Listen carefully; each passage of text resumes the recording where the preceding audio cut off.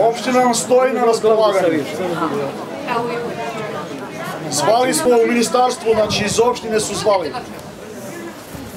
Javila se Aleksandra Cvijović i ponovila sve ono što sam vam danas rekao u fabrici.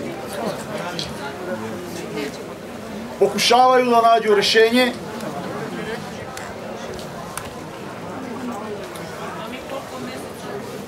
čekaju mojcu Lukačić do petka.